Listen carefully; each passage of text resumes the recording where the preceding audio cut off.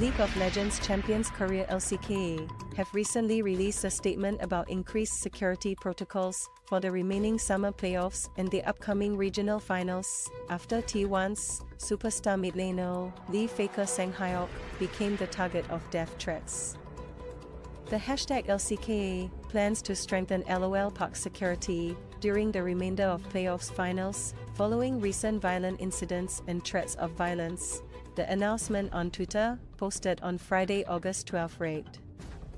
Upgraded security measures include detailed bag searches, additional security personnel, and more security equipment, alongside a strengthened emergency response. We ask for your cooperation as we create a safer environment for all. The LCK statement concluded. The decision was made after a user on the Korean online forum, DC Inside, threatened to harm Faker. The death threats have set everyone on the edge. Especially with the recent mass stabbing attacks reported all over South Korea, including 14 wounded in a car and stabbing rampage underscore underscore in Seongnam City, and a teacher stabbed while leaving a classroom in Daejeon. The death threat came after KT Rolster's shocking loss against T1, with Faker back in the team. According to a report by Korean news outlet Yonhap News, the Seoul Metropolitan Police Agency was informed on August 11 about a forum post that had been shared on the online community DC Inside at approximately 10 p.m. on August 10.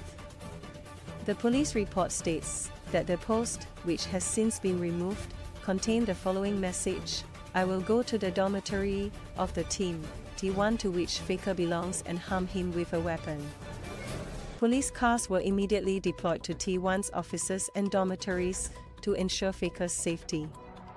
The police intend to arrest the person after confirming the author's identity by tracing the internet address IP. T1 also issued a statement on Friday, August 11th morning. According to a report by South Korean news outlet Naver, T1's representative said, We are also actively taking care of it and responding with a very high priority. They also mentioned that a police car was currently waiting in front of T1's practice room. T1 also emphasized that they would take strong action against the death threats written by the community for Faker. This is not the first time that Faker or any South Korean esports player or team has been threatened or harassed by anonymous fans.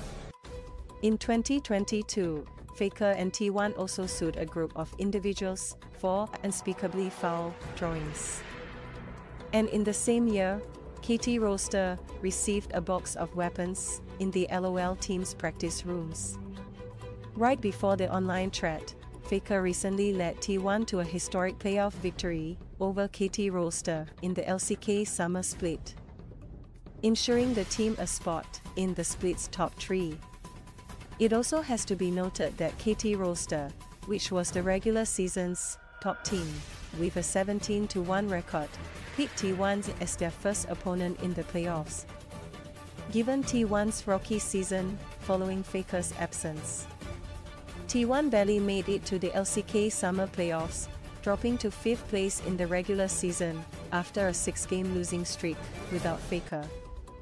With everyone in the LCK analyst and caster team predicting T1's loss against KT Rolster, Faker, who is just barely a few days back from an arm injury that forced him to take a break, led the team to victory with a 3-2 score. However, T1 have recently lost against Gen.G Esports on Saturday, August 12 in a lengthy encounter that ended in Gen.G's favor, 3-2. As a result, T1 dropped to the lower bracket final and may potentially have a rematch against KT Rolster or go against Hanwha Life Esports, depending on who wins the lower bracket semi-final.